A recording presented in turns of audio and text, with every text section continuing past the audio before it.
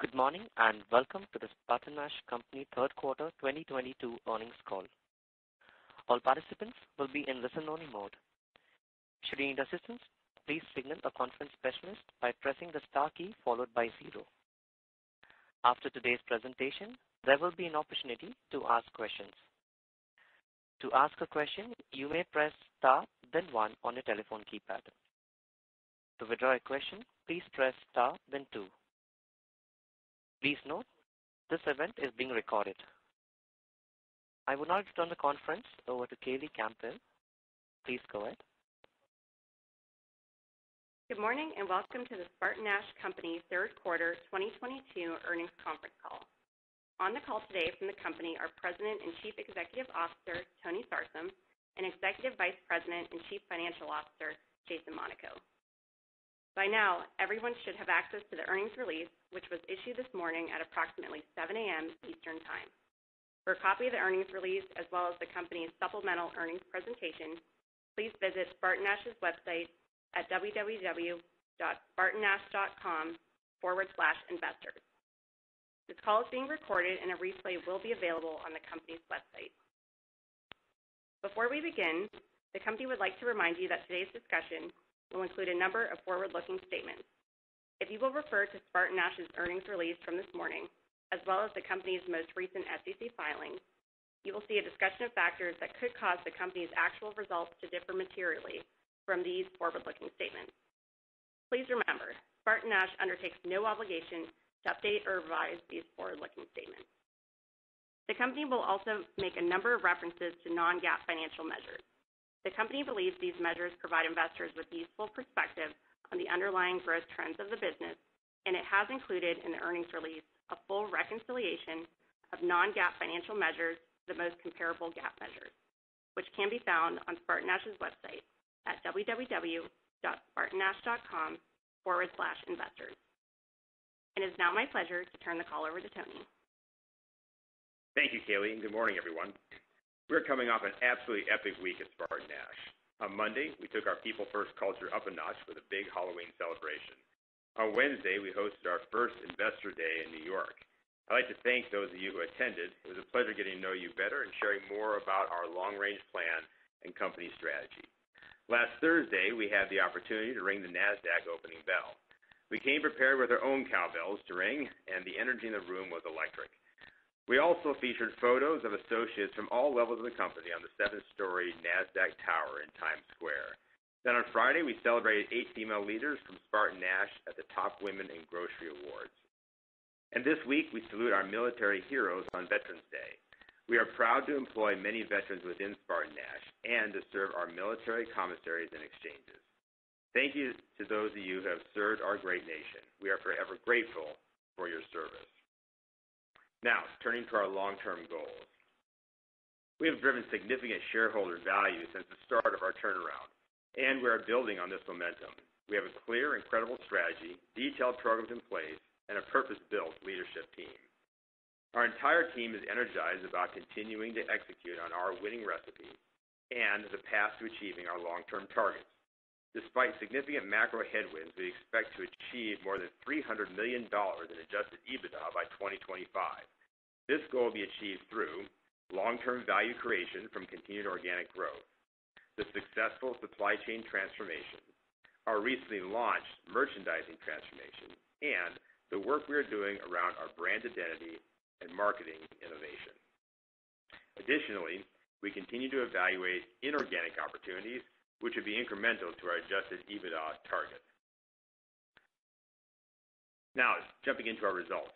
This morning, we announced our full third quarter results following last week's preliminary release. Compared to prior year, we increased both net sales and adjusted EBITDA by approximately 11%. In the wholesale segment, which now includes what we historically reported as food distribution and military, we grew the top line by more than 11% and adjusted EBITDA by more than 30% compared to prior year. We are really pleased to see these significant improvements in cost rates realized from our supply chain transformation. At the end of the quarter, we reached an impressive 97% on-time delivery rate year to date. And compared to the prior year quarter, wholesale fill rate improved by 4%, while throughput rate improved by a stunning 8.5%. As of the end of the quarter, we secured $24 million in run rate cost savings from our supply chain transformation. We have made great progress in achieving our transformational goal of $25 million-$35 million in cost savings by the end of this year. In retail, our comparable store sales remained strong, increasing 8% for the quarter. Our gross margin expanded sequentially by 88 basis points compared to the second quarter, and we are pleased that we delivered total retail year-over-year unit share growth, fueled in part by our strong own brand performance, with share growth both in dollars and units. Building on our marketing insights, our retail team has developed a detailed plan to ensure consistency of execution and a local hometown experience every time shoppers visit our stores. Our strategy includes added investments in our people, differentiated above and beyond customer service, a better in-stock position, and new shopper loyalty benefits. Year-over-year growth in our fresh volume has outpaced the rest of the store. We are committed to the best in fresh and recently rolled out our 200% money-back guarantee program. Our recently renovated D&W Fresh Market stores bring unique product offerings to the Michigan-based upmarket banner. These modern stores offer a terrific shopping experience and are materially outpacing our company average. Now more than ever, we remain laser-focused on our mission of delivering the ingredients for a better life. We are committed to providing food solutions for our wholesale and retail customers during this unprecedented inflationary environment. Our retail shoppers and the consumers served by our independent customers are eating more at home while continuing to seek indulgent food experiences. Our own brands offer a great option to satisfy these indulgent cravings while not emptying shoppers' wallets. Our marketing innovation continues to drive results, and our team is just getting started. As we build our private label programs, we are unlocking even more opportunities to help our independent retail customers and our own shoppers combat inflation. Now, I want to touch on our merchandising transformation, which is a key component to reaching our 2025 goals.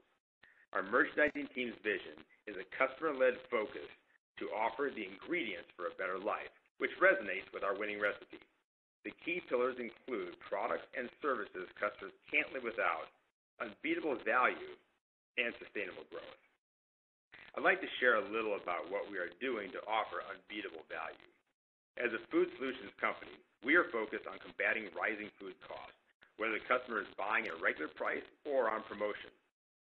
Our merchandising team has upgraded their data-driven approach to comparing vendor cost increases with the underlying input cost based on commodity markets and other industrial benchmarks. Our methodical cost management helps drive growth and provide value for our wholesale and retail customers. We are providing an opportunity for our vendors to join us on the sustainable growth journey, and I'm happy to report that many leading vendors are partnering with us to find creative solutions during this inflationary environment. We look forward to providing you with regular updates as we build on our merchandising transformation. I am confident that the pillars of this program, based on market-leading capabilities, will drive both top and bottom-line results. Before turning the call over to Jason, I wanted to highlight our recent guidance increase for fiscal 2022. Our adjusted EBITDA range is now $237 million-$242 million, growing at approximately 12% versus the prior year. The updated guidance was driven by the ongoing benefits we are realizing from the supply chain transformation and our year-to-date results. Looking forward, we remain confident that we have the right team in place to execute on our winning recipe and drive growth both near and long term. I'll now turn the call over to Jason, who will walk through the quarterly financials in greater detail. Thanks, Tony, and welcome to everyone joining us on today's call. Before we jump into our results, we announced a change to our operating segments. As noted in last week's pre-release, we combined our food distribution and military segments into a new wholesale segment. This change reflects the way we manage the business as one comprehensive distribution network and furthers our efforts to streamline operations, transform our supply chain, and better serve our customers. Now for our detailed results. Net sales in the third quarter increased almost 11% to $2.3 billion versus 2021's third quarter sales of $2.1 billion. The growth versus prior year was driven by net sales in both the wholesale and retail segments, each of which were favorably impacted by inflation. Gross profit in the third quarter was $351.2 million, or 15.3% of net sales, compared to $329.5 million, or 15.9% of net sales in the prior year quarter. The gross profit increase was driven by higher sales, while the gross margin rate decline was primarily driven by an increase in LIFO expense of $9 million, or 36 basis points. In addition to the impact of LIFO, lower retail margin rates were partially offset by improvements in margin rates within the wholesale segment. As a percent of sales, our operating expenses decreased 34 basis points from prior year, reflecting efficiencies from our ongoing supply chain transformation. These efficiencies were partially offset by higher corporate administrative costs, including incentive compensation expense and upfront investments in our merchandising transformation initiative. Overall, we achieved an 11.3% increase in our third quarter adjusted EBITDA of $57.3 million, compared to $51.5 million last year. Our reported net earnings were $9.5 million. Our ratio of net long-term debt to adjusted EBITDA for our third quarter increased slightly to 2.1 times, compared to 1.8 times at prior year-end. The increase was due primarily to inflation-driven increases in working capital. Now turning to our segments. Net sales in wholesale increased $165 million, or 11.3%, to $1.63 billion in the third quarter, driven primarily by the favorable impact of inflation, which exceeded 14% in the quarter. Although case volumes were down modestly for the segment compared to the prior year, military cases were up an impressive 6% due to strong demand within the military channel. The overall decrease in case volumes for the segment included lapping DG's 2021 insourcing initiatives. As planned, the impact of DG's insourcing fully cycled in September of this year. The decrease was also due to a modest decline in case volumes in the independent channel, consistent with market trends. Reported operating earnings for wholesale in the third quarter totaled $14 million, compared to $5.9 million in the prior year quarter. The increase in reported operating earnings was due to higher sales and lower supply chain expenses, partially offset by higher corporate administrative costs and LIFO expense, which rose $8 million in the current quarter.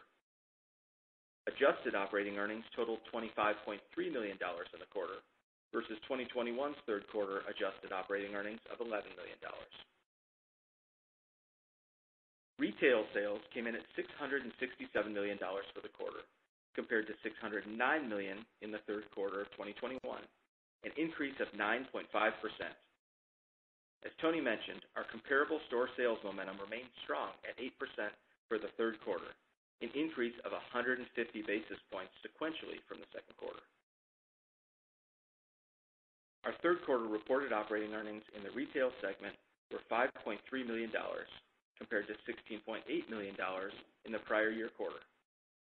The decrease was due to a lower gross profit rate, along with investments in retail wage rates and corporate administrative costs. Retail adjusted operating earnings were $8.1 million for the quarter, compared to $17.8 million in 2021's third quarter. In the first three fiscal quarters of 2022, we generated $7.5 million of cash from operating activities, compared to $144 million in the prior year period. The decrease was due primarily to the changes in working capital mentioned a moment ago.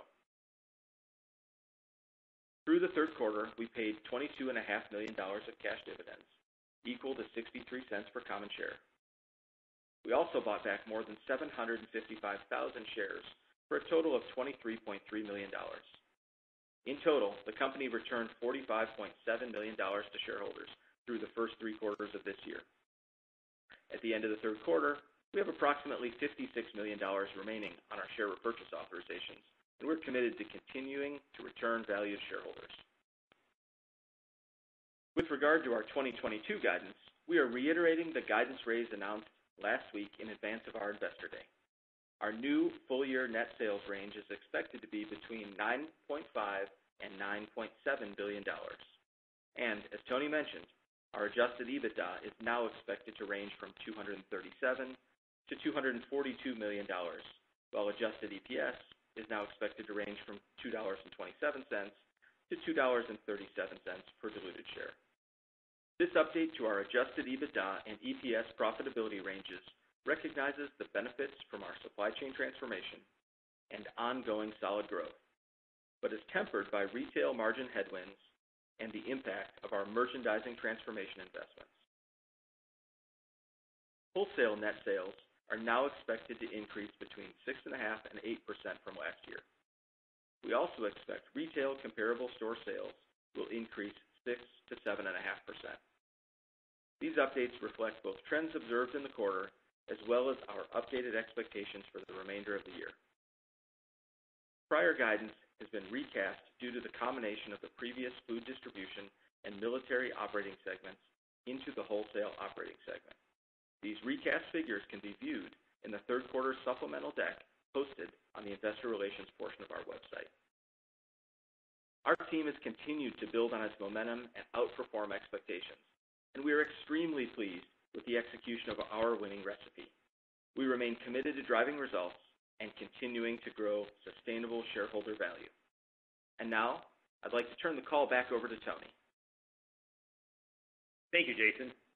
As a people-first organization, I want to take a moment to thank our associates. This past quarter, our leadership team gathered to celebrate our top-performing frontline associates. We honored truck drivers in our fleet, cashiers from our retail stores, order selectors from our warehouses, and other essential workers. These frontline associates have gone above and beyond every day to deliver the ingredients for a better life to our customers, store guests, and their fellow associates. Congratulations to this year's winners, and thank you to the entire SpartanNash team for their dedicated service. Our people are the reason for our success and a key part of why we are positioned to win. We are executing on our winning recipe, and we are pivoting from our turnaround to growth. Beyond the results we expect to achieve this year, we have a plan that adds $1 billion to the top line. The plan will also enable us to achieve more than $300 million of adjusted EBITDA by 2025, and any additional M&A will be supplemental to this target. We are executing on our plan and implementing our strategic initiatives to reach these goals. With that, I'd like to turn the call back over to the operator and open it up for your questions. Thank you very much. We will now begin the question and answer session. To ask a question, you may press star, then one on your telephone keypad. If you're using a speakerphone, please pick up your handset before pressing the keys. To withdraw a question, please press star, then two. At this time, we will pause momentarily to assemble a roster.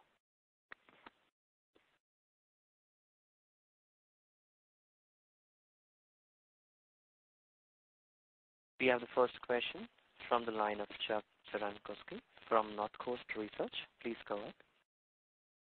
Good morning, everyone. Great quarter. Congratulations.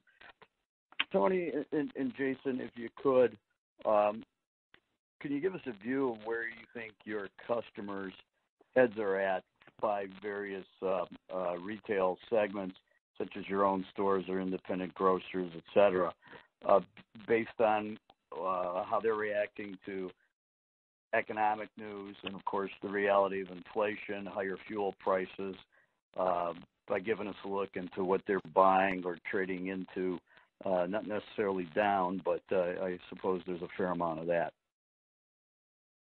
Yeah, happy to, Chuck. Thanks for the question. Um, so, a couple things. So obviously, we can start with data. Uh, we have uh, growth associated with inflation, revenue growth, and we have we see what's going on with our unit growth and pound growth in our fresh part of our stores, et cetera.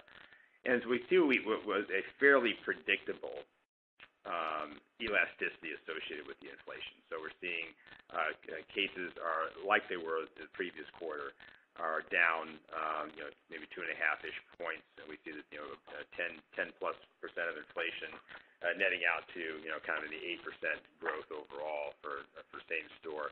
So people are making those decisions. They're making trade-offs because their obviously income has not risen as fast as inflation.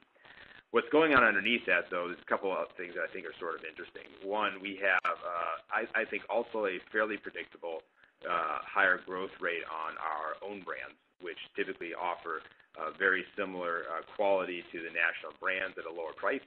And uh so our own brands are growing kind of in the two and a half times the rate of the comparable national brands. So people are looking now more toward those own brands as a great option to uh, stretch their dollars. We see people who are making trade-offs on sort of the in some areas, like I use this example, I think maybe the last quarter, but it's actually more accelerated, where people are making trades from buying maybe less steak and more hamburger, as an example. We're also seeing a lot of growth in the uh, in the higher value-added meats. So at the same time, people are making some trade downs on their on their protein to get more kind of protein for their buck. Uh, we had we had really really strong growth on our house-made items like our seasoned meats, our our hand-trimmed meats, our bratwurst, which are a higher cost per pound. And we saw a little bit of the same behavior in the Great Recession, where you had people who were trying to stretch their dollars, in that case, because they had fewer dollars, not because of the inflation. But they're making trade-offs on things where they thought they could get a good value uh, for uh, uh, overall, which meant similar quality for lower price, and then still seeking indulgence. And I think that's instructive for us. It tells us that we need to be sharp on what we offer our folks in terms of value. That's why Uh, having great own brands matter. That's why this merchandising transformation matters so much.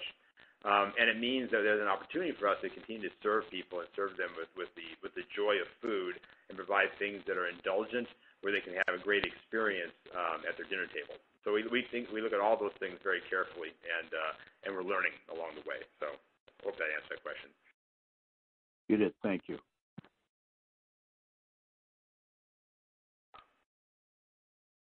Thank you.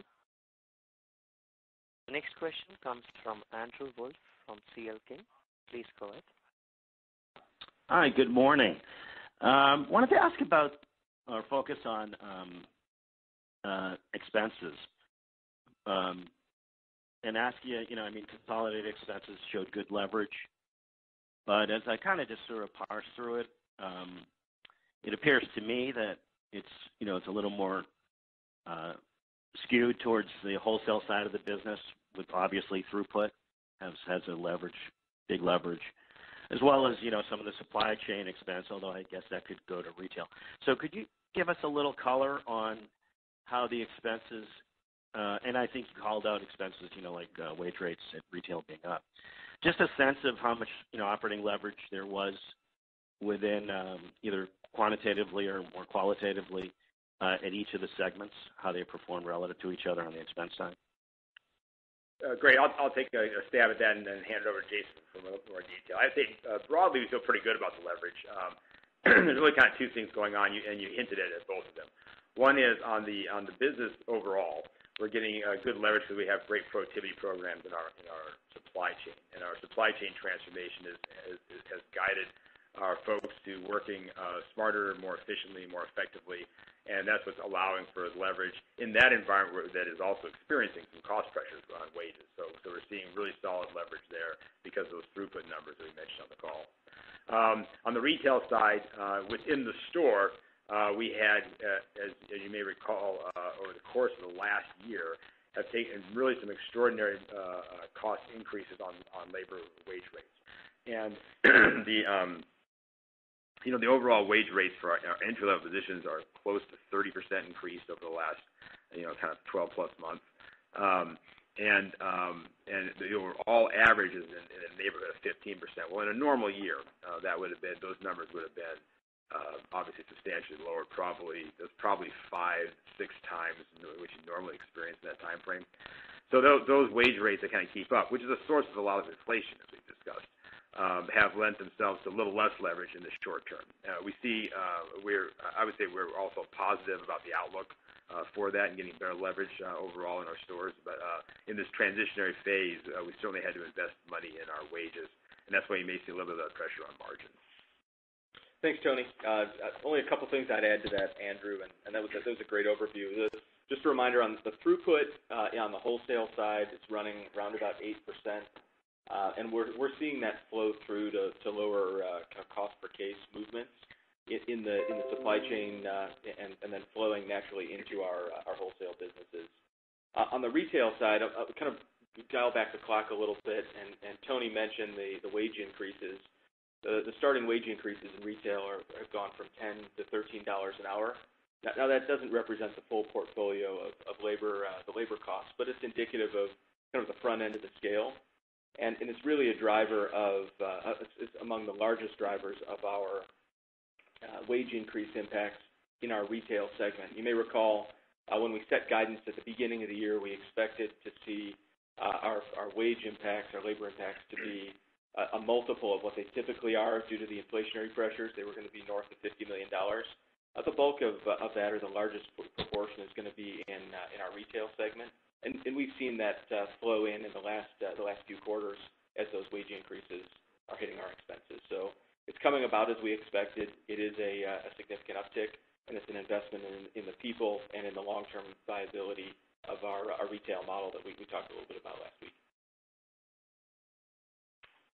Okay. And just a follow-up. Um, you know, you mentioned higher incentive comp and other costs, and also the merchandising upfront costs and the merchandising transformation.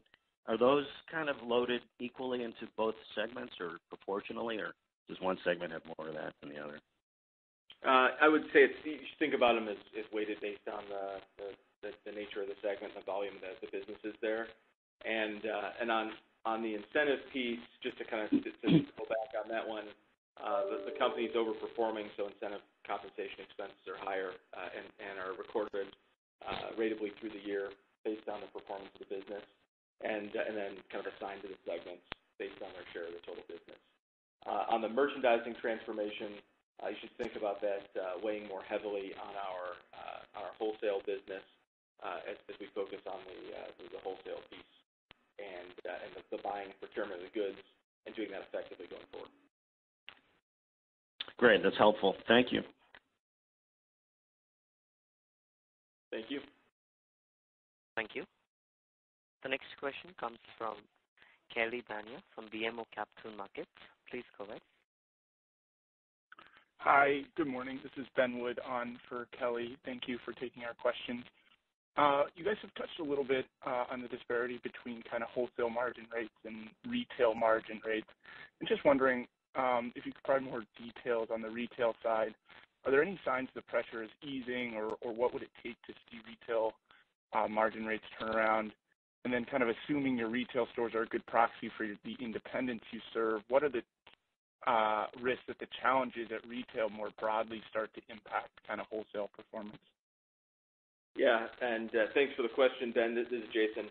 Um, thinking about the margin structure itself at retail, and then we'll kind of address how we think about the potential second and third order effects across the wholesale business. Um, sequentially, uh, our retail business improves gross margin. So your question on have we we hit the bottom, uh, what's the plan, and is there is there an opportunity to improve margin? Uh, we saw sequential improvement in our retail business from Q2 to Q3. We we feel good about the progress that that we've made and that our teams have made to continue to pound out a little extra margin in that business.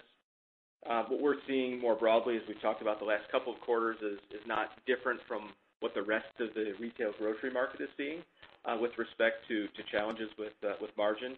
And we continue to be smart about it and be precise with how we deploy our pricing so that we get the best deal for shoppers and we find the right balance for margin on our side. Thinking about our independent customers, you know, one of the benefits of being a retailer and a wholesaler is that uh, we don't have to imagine what it's like to be operating in the retail space. Uh, we see it every day, and we operate in that way every day. It's one of the unique benefits we bring to our uh, our independent wholesale customers. So, you know, I would expect that our independents are experiencing the same challenges we have, and it's it's a really another reason for us to redouble our efforts and focus on our merchandising transformation because, frankly, when when our, our customers win, we all win together. Awesome. Great. Thank you. And then just one more, if I may, kind of switching to the wholesale side. Thanks for providing the details on case volume. But wondering if you were able to kind of frame that in sort of case volume versus 2019 for independents and chains, maybe XDG and military. Just trying to get a gauge more broadly what type of any kind of channel shifts you guys may have saw seen over kind of the course of the pandemic. Yeah, I think maybe uh, maybe starting with the military piece. Uh, we we saw significant, as you as you know, we saw significant shifts in uh, in movement away from the military segment. We've seen that that recover, and we've seen in the in the third quarter, we delivered north of 6% unit volume growth in the military segment. So just to kind of put that in perspective, at least at least how we think about it is, if you look at publicly available data on unit volume in retail grocery, Uh, units are down low to mid-single digits. Uh, if you look at publicly available data, uh, our units are up in the military segment, or were up in the third quarter by north of 6%. So we see the military seeing a significant channel shift with performance that's around about 10 percentage points better than market norms. In our retail and independent space, we see the unit volume performance tracking relatively similarly Uh, between our independent retail businesses. And uh and importantly, on our retail side, uh, we're growing share. So we're outperforming the market with respect to unit volumes, and uh, we're very proud of that and have plans to continue to build that going forward. Great. Thank you.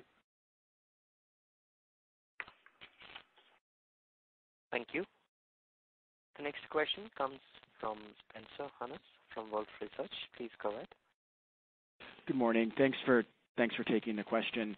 Just shifting to your long-term CapEx guidance, it calls for a pretty significant step-up over the next few years. So with that step-up in spend, where do you think you can take cost per case and throughput over time, and where are those metrics trending today versus versus where the industry is at? The metrics on the cost per case, you mean? Yeah, and throughput. Yeah. We don't have uh, uh, uh, thorough information, I think, on the external on cost per case because the business is very. Um, um, it's not a bad question. I don't have that at my fingertips right now. Um, in terms of the CapEx spending, the shifting CapEx spend, we go to more more work essentially on growth and on productivity than we would have done in the recent past. The overall CapEx is essentially aligned with similar competitors that have similar sized businesses in the combination of wholesale and retail. Uh, but what you'll see is more investments in our stores uh, for remodeling for them for better for better growth and a better presentation to the shoppers, uh, and more investments in our overall supply chain to make the supply chain more efficient. So in broad strokes, that's where the additional CapEx is going. Yes. Thanks, Tony, and great question, Spencer. We see uh we see significant runway still in our cost per case. A real opportunity to continue to build that going forward. And the capital that we're deploying Uh, is really building uh, strength around both specific programs and belts and suspenders type uh, investments on that side of the house to ensure we deliver a terrific product to our customers in a very efficient way. Further to Tony's point, we'll be building out and linking together with our banner consolidation, a real focus on ensuring that we've got the right customer experience tied with each of our banners and the brand expectations that shoppers have for those banners.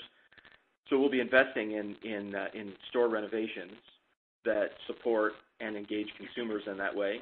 And I'd be remiss if I didn't say that along the way, though we are raising our uh, long-term CapEx uh, requirements over the three-year window of this plan, we also expect to nearly double the return on invested capital that we've been delivering, and we feel really good about that plan. This capital is going to uh, to help us get to the $300-plus million in EBITDA, driving long-term shareholder value. That's helpful. And then c can you remind us how many of your transactions are are captured by the loyalty program today? And with the upcoming relaunch of that program, how do you think that impacts comp momentum and then also your ability to potentially build an ad ad network and interface better with with CPGs over time as well?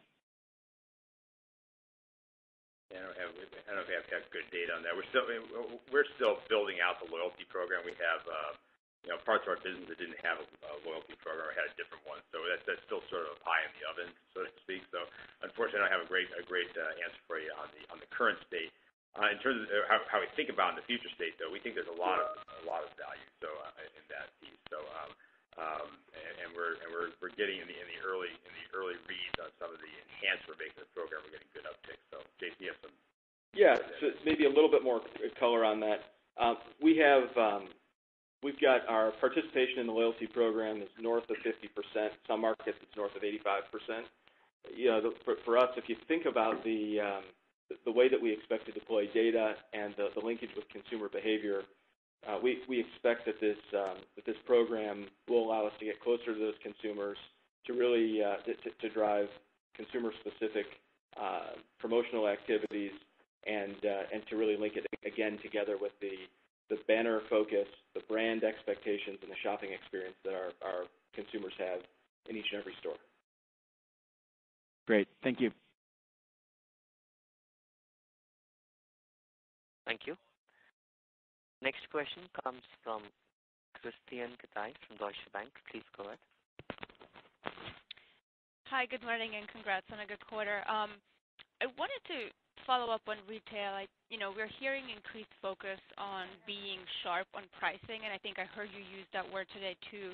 Um, can you just talk about, is that a response to inflation and consumers changing the way that they're shopping? Is it something that you're also seeing in the competitive environment in your markets?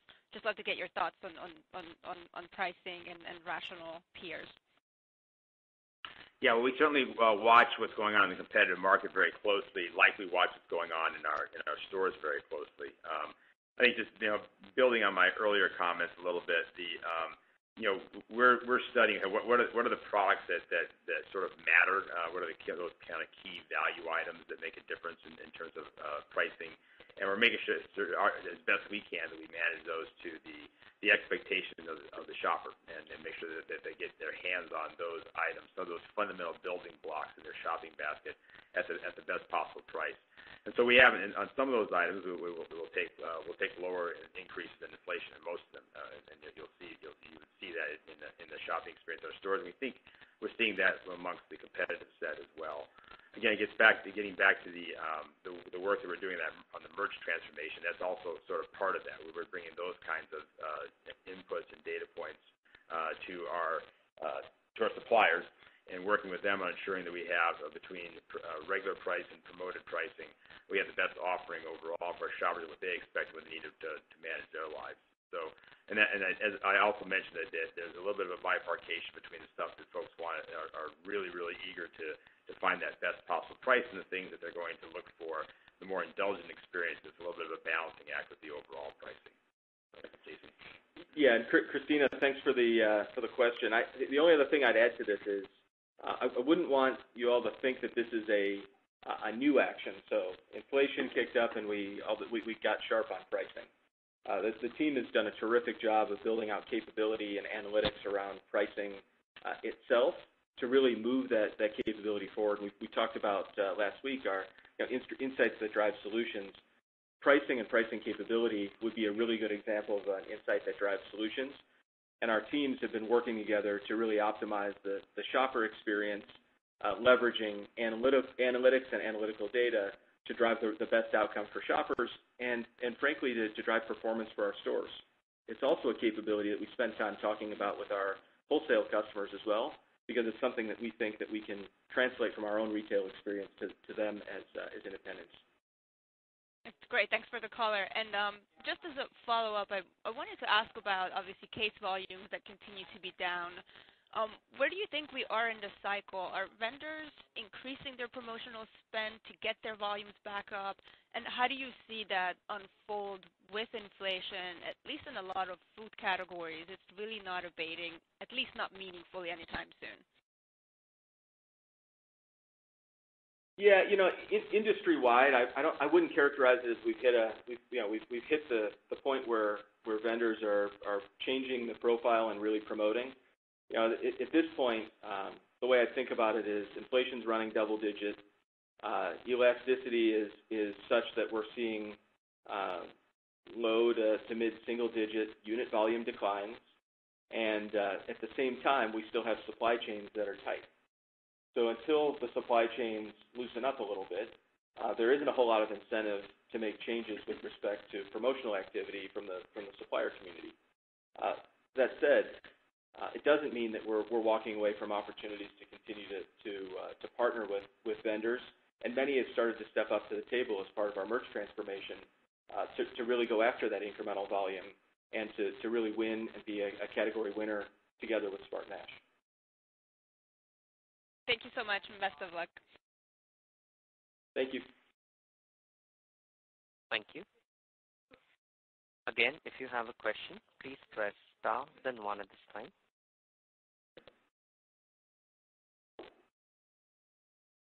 We have a follow-up question from the line of Chuck Cerankosky from Northcoast Research. Please go ahead.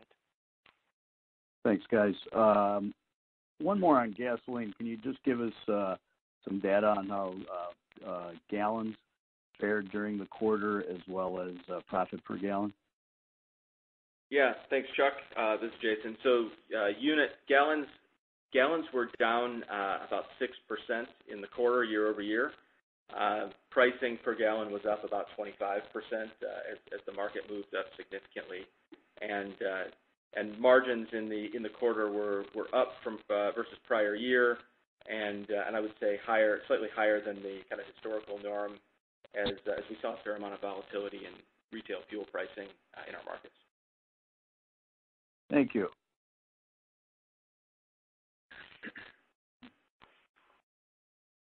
All right. Thank you. Thank you, Chuck. Thank you. A reminder to participants, if you have a question, please press star and one at this time.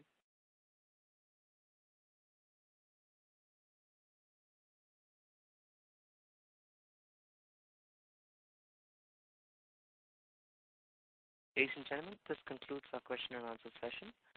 I would like to turn the conference back to Tony Sarsam for any closing remarks.